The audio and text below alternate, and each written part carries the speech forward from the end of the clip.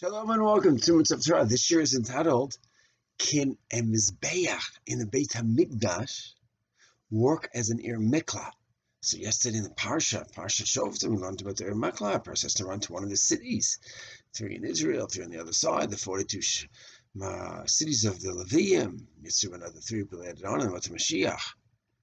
So he, he doesn't run there. He killed someone by accident the old city. He runs to the Mizbeach.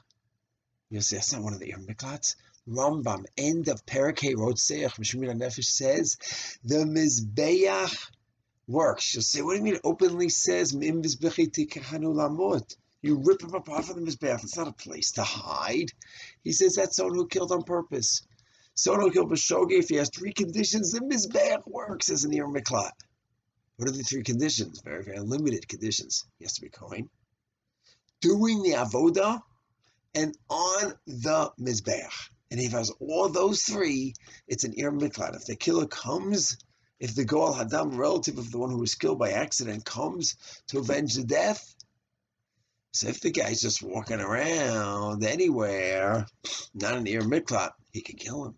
If he's on the Mizbeach, a Kohen, doing Avodah, he can't kill him. They will stop him amazing power that the Mizbeach has in this very limited condition, and it's not intuitive because everyone knows the pasuk. You take him for the Mizbeach.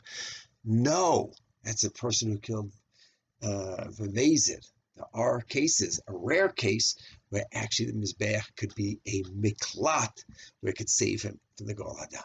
Shalom.